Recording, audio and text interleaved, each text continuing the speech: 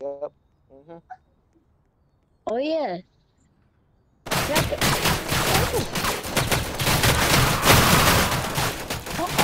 Oh.